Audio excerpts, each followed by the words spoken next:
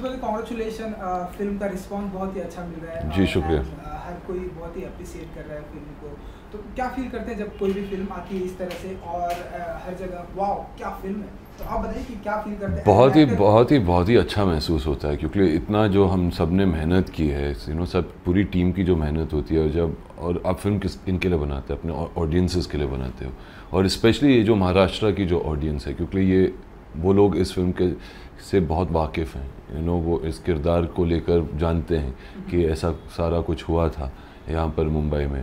तो आ, जब उनके ऑडियंस के रिएक्शंस मिलते हैं यू नो जो जिस तरीके से बाहर आके वो पसंद करते हैं फ़िल्म को तो एक रिलीफ होती है और बहुत खुशी महसूस होती है।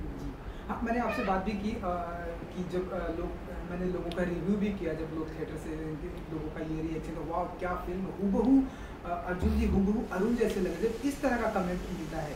तब क्या फील क्योंकि हमेशा या किसी के ऊपर फ़िल्म बनाना वो काफ़ी चैलेंजिंग होता है कि हूबहू उनकी तरह हो पाएगा या नहीं। एक थोड़ा सा ये लेकिन जब इस तरह का कमेंट कि, अरे, अर्जुन जी सेम दिख रहे हैं, तब क्या क्या फील हाँ यही तो सबसे इम्पोर्टेंट चीज़ थी कि जब वो, जब दर्शक फ़िल्म देखें और मुझे देखे फ़िल्म में तो मैं नज़र नहीं आना चाहिए यू नो उन्हें अरुण गौली ही दिखना चाहिए वहाँ पर। और ये मेरे डायरेक्टर रोशन मालू वालिया की भी मेहनत थी, जिन्होंने मेकअप हेयर वार्ड्रोब सारा कुछ किया, मेरी खुद की जो एफ़र्ट थी।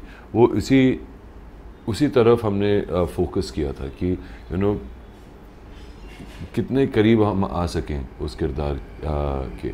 आई थिंक वो, और जब दर्शक को भी वही लगता है और वही कमेंट्स देते हैं कि हमें अर्जुन रामपाल नहीं दिख रहा हमें अरुण गावली ही नज़र आ रहे हैं वहाँ पर पर्दे पर।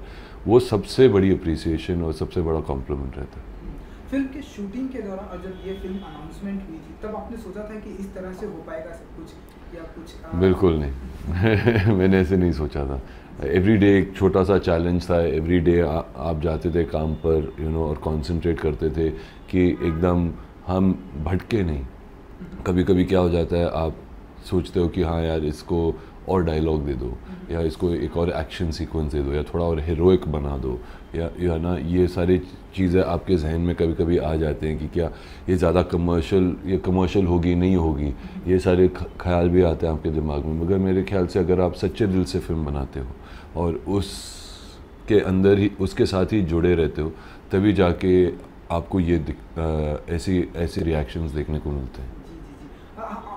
स्क्रीनिंग भी रखा रखी गई थी हमने देखा आपके दोस्तों के लिए सब हर कोई प्रेजेंट था तो इंडस्ट्री से क्या कुछ रिस्पांस मिल रहा है? स्पेशली आपकी मैडम ने जब ये फ़िल्म देखी आपकी वाइफ ने जब ये फ़िल्म देखी उनका क्या रिस्पांस वो तो सबसे बड़ी क्रिटिक है मेरी।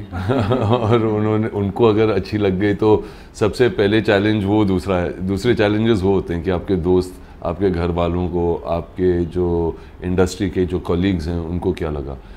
सेम रिएक्शन रहा सभी तरफ़ से कि ये एक बहुत ही अलग किस्म की फ़िल्म है।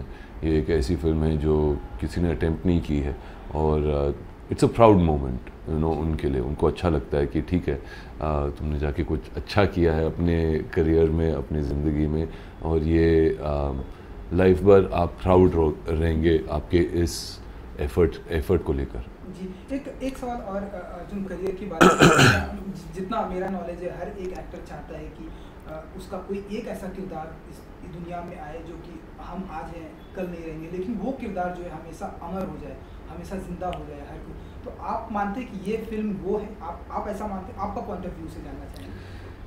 यार इतनी जल्दी मत मुझे मत मार देना मगर होपफुली और भी किरदार होंगे।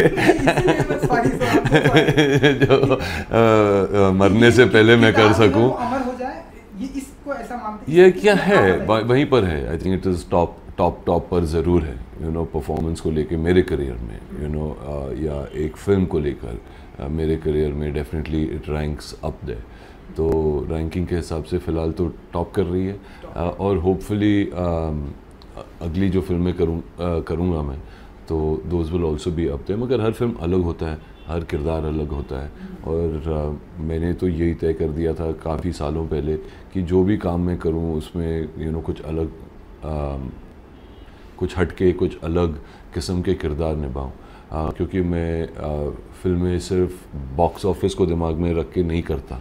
यू नो मैं फ़िल्म करता हूँ तो उसके कला के लिए करता हूँ कि करता हूँ कि एक फ़िल्म बन जाए जो शायद चार साल बाद या जैसे कि आप कह रहे हो यू नो पाँच साल बाद या फिर पचास साल बाद भी लोग उसे एक रेफरेंस पॉइंट से देखें हम्म। क्योंकि बॉक्स ऑफ़िस की बात की मैं बॉक्स ऑफ़िस में डिस्ट्रीब्यूटर हमने देखा कि फ़िल्मों को बढ़ा दिया है तो बढ़ा नहीं सकते स्क्रीन यू नो अगर जब ऑडियंस की डिमांड आती है रिएक्शंस आते हैं तो उस हिसाब से ही जाके स्क्रीन्स बढ़ती हैं आपके।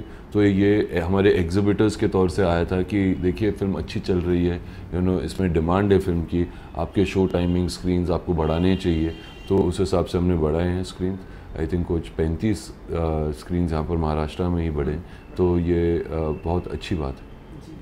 हमने देखा कि लास्ट टू थ्री डेज़ में लास्ट टू थ्री डेज़ में डैडी के फैमिली वालों ने भी सभी देखे सभी कोई मौजूद आप थे वहाँ पर? जी मैं वहाँ पे हम्म। था। वो हम हमारे ऑफ़िस में विजुअल हाँ. आया हुआ था सब देखा। तो काफ़ी इमोशनल मोमेंट था। हाँ. तो उन सभी का क्या रिएक्शन था? आपने देख लिया कैसे रिएक्शन थे हाँ देखिए बहुत ज़िम्मेदारी होती है जब आप किसी जीवित इंसान पे फ़िल्म बना रहे हो उनके परिवार को लेकर एक बहुत ही बड़ी ज़िम्मेदारी होती है हमारे कंधों पर कि उनको भी लगना चाहिए खुश लगना चाहिए उन्हें खुशी महसूस होनी चाहिए कि हाँ यार जो भी फ़िल्म बनाई है उन्होंने सही तरीके से बनाई है। हमने वो भी रास्ता नहीं लिया कि उन्हें सिर्फ़ ग्लोरीफाई किया जाए यू नो क्योंकि फिर लोग बोलते हैं यार ये प्रोपोगेंडा वाली फ़िल्म हो गई है। आ, आप एक ऐसे गैंगस्टर को ग्लोरीफाई कर रहे हो। तो उनका सारा कुछ दिखाया उनके ज़िंदगी में यू you नो know, जो उनका डार्क साइड था जो भी साइड था।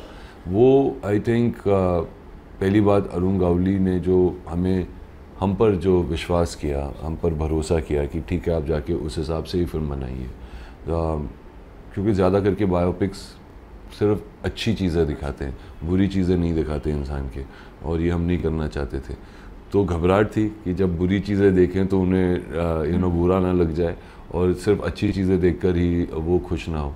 मगर आई थिंक टोटलिटी में जो उन्होंने फ़िल्म देखी, उनको भी बहुत अच्छी लगी और वो वाकई में बहुत खुश रहे। तो वो एक बहुत बड़ी रिलीफ थी मेरे लिए। जी, मैं डैडी की अगर मैं बात करूँ अरुण जी की बात करूँ, क्योंकि आप हमेशा से ये आपकी इच्छा थी कि उनको ये फ़िल्म दिखाई जाए, लेकिन पर उनकी वजह से सब पॉसिबल नहीं होता आप चाहेंगे कि जेल में उनके लिए ऐसे कोई आप मेरे लिए परमिशन ले आइए जेल में जाके उन्हें दिखाने के लिए तुम्हें दिखा दूँगा। तो मैं क्या करूँ यार? जेल में तो मुझे भी डाल दिया ना। पिक्चर के एंड में मैं भी जेल में ही जाता हूँ। और आपको आपका इरादा है मैं जाके जेल में बैठ जाऊँ तो मैं मज़ाक कर रहा हूँ। नहीं नहीं नहीं। मेरे ख्याल से ये देखिए ये कॉन्विक्ट्स हैं कन्विक्टेड लोग हैं। यू नो अब जुडिशल सिस्टम अगर मेरे हाथ में होता तो शायद मैं बोल देता ठीक है यार उस पर फ़िल्म बनी है जाके दिखा दो। मगर उसके लिए शायद एक दूसरा आई डोंट थिंक ये सब चीज़ें कर सकते हो आप। क्योंकि जेल जेल होता है। यू नो जेल एक ऐसी जगह नहीं है जहाँ पर यू नो आप मनोरंजन कर रहे हो या कुछ कर रहे हो। मगर शायद अगर जिस तरीके से लोगों ने फ़िल्म को सराहा है यू नो और इसकी अगर मोमेंटम चलती ही रही तो हम शायद अपील कर सकते हैं और कह सकते हैं कि ठीक है